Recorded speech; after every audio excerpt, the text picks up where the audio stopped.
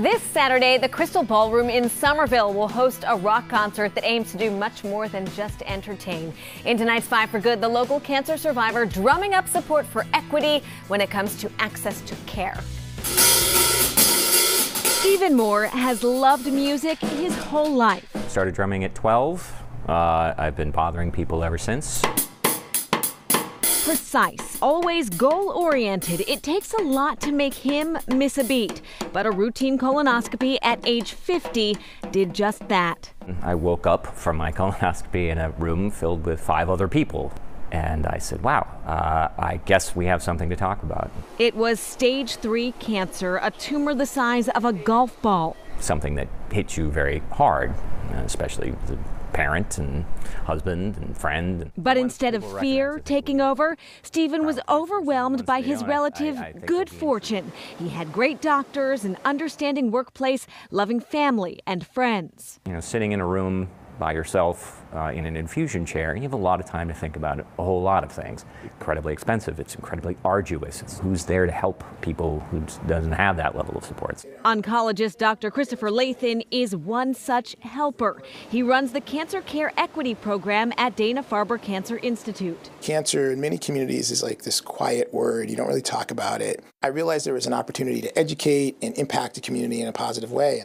Dr. Lathan says while improvements have been made, black men in Boston have higher rates of cancer and death from cancer than white men. Black women have higher rates of death from cancer than white women.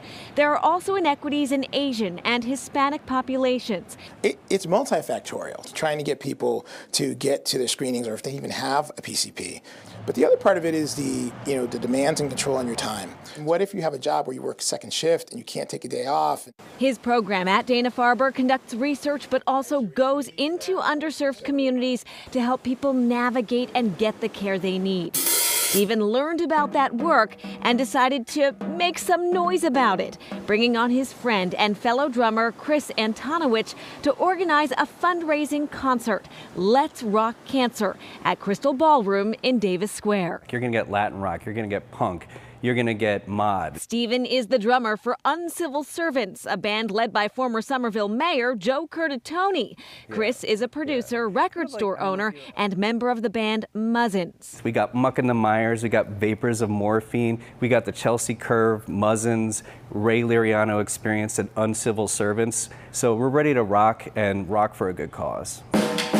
For Stephen, it will be a meaningful celebration that he's doing well. He wants more people to have that same outcome. To have an event where people can let go and, and shout if they want. And that's the whole hope of a rock show is that people can just let go. Yeah, he hopes people enjoy and support this important work. So Let's Rock Cancer is this Saturday night, along with all of those incredible bands you heard about. Dr. Lathan will be there to speak about his work. You can find information about how to attend on WCVB.com.